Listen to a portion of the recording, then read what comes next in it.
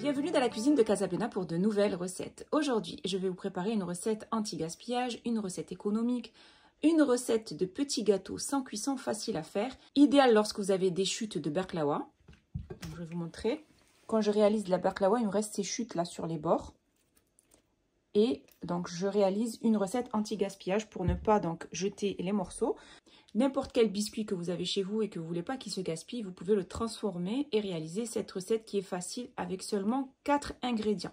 Alors pour cette recette, je vais utiliser donc mes chutes de baklava que je vais mixer. Vous pouvez utiliser petit beurre ou spéculoos mixé. Ensuite, il nous faudra des amandes aussi que j'ai donc grillées et euh, que j'ai mixées.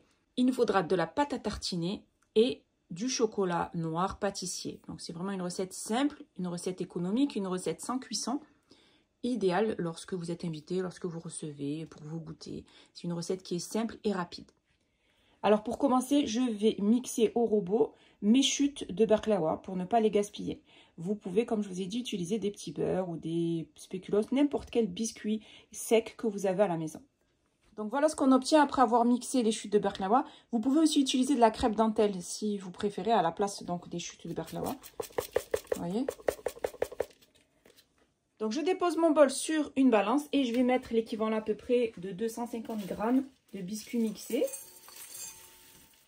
J'ajoute les amandes grillées. Donc, pareil, hein, l'équivalent de 250 g. J'ai déjà commencé à en mettre. Donc, 250 g d'amandes mixées avec 250 g de biscuits mixés. Et je mélange bien le tout. Vous allez voir, c'est une recette qui est vraiment simple et rapide.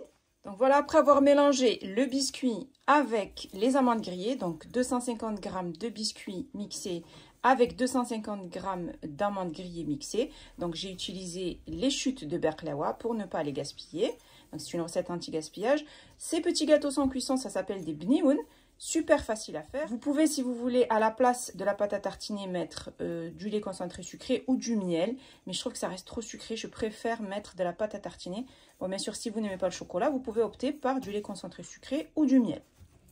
Et vous pouvez y ajouter de la halwa turque aussi. Mais je trouve aussi que ça reste assez sucré. Donc, j'opte juste pour les chutes de baklava avec des amandes grillées ou des petits biscuits type petit beurre ou spéculoos et amandes ou cacahuètes grillées. Vous n'êtes pas obligé de mettre des amandes, vous pouvez mettre des cacahuètes si vous préférez.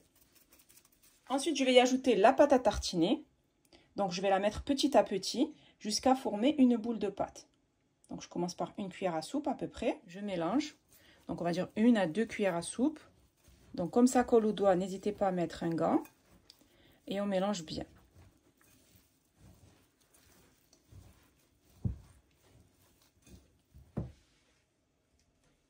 On va dire 4 à 5 grosses cuillères à soupe. Vous mettez petit à petit la pâte à tartiner jusqu'à ce que ça se ramasse. Donc voilà, vous mélangez bien le tout jusqu'à pouvoir façonner des boules. Après avoir façonné ma farce, je vais maintenant faire chauffer mon chocolat 1 minute 30 au micro-ondes. Avant de le faire chauffer, j'y ai ajouté une cuillère à soupe d'huile de tournesol pour qu'il soit bien brillant. Voilà, là j'ai bien fait chauffer mon chocolat 1 minute 30 au micro-ondes. Je vais le laisser comme ça bien fondre. Et ensuite, je vais bien le mélanger. À côté, je prends donc des petits moules avec empreinte en forme de cœur pour réaliser donc ces petits gâteaux sans cuisson. Vous pouvez bien sûr réaliser la recette sans moule en formant tout simplement des boules. Je vais vous montrer. Donc la recette simplifiée, c'est de former des petites boules et de les tremper dans le chocolat fondu. Ou vous pouvez prendre un moule à empreinte comme celui-ci, y déposer du chocolat et ensuite y mettre de la farce. Alors je mélange bien mon chocolat donc une cuillère à soupe d'huile avec une tablette de chocolat, une minute 30 au micro-ondes et je mélange bien pour obtenir un chocolat bien brillant.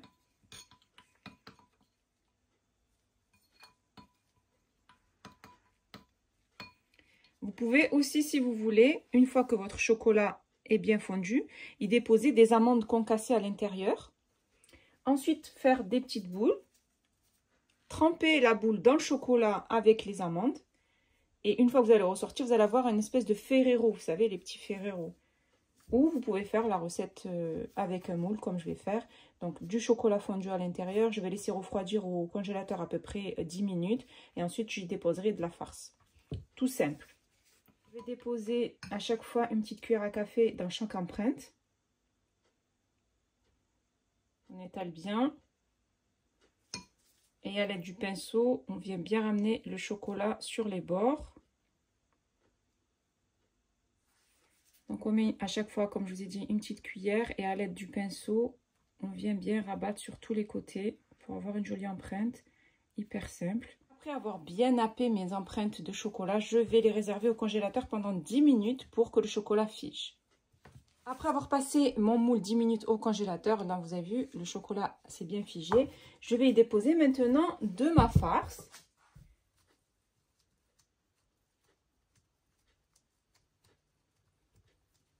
Donc on met bien de la farce dans nos empreintes. On appuie bien pour qu'il y en ait bien partout. Vous voyez cette manière. Voilà, après avoir rempli toutes mes empreintes de farce, je mets mon moule au congélateur encore pendant 10 minutes pour qu'il fige bien.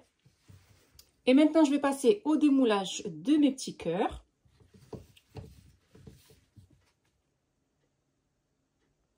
On les démoule délicatement pour ne pas les casser.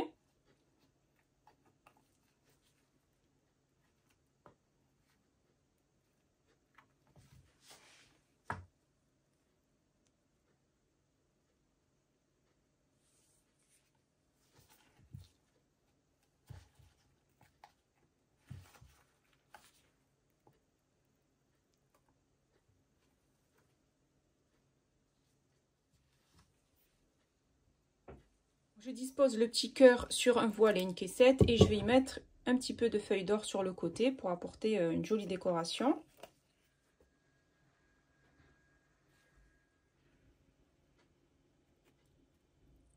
Et voilà, j'ai terminé mes petits gâteaux sans cuisson avec le reste de baklawa. Comme vous avez pu voir lors de cette recette, c'est une recette qui est simple et rapide, sans cuisson, idéale lorsque vous êtes invité, lorsque vous recevez. Regardez, ils sont jolis est très présentable et hyper bon. Je vous conseille de réaliser cette recette au plus vite. Mes benimoun sont prêts et il reste plus bien sûr qu'à les déguster.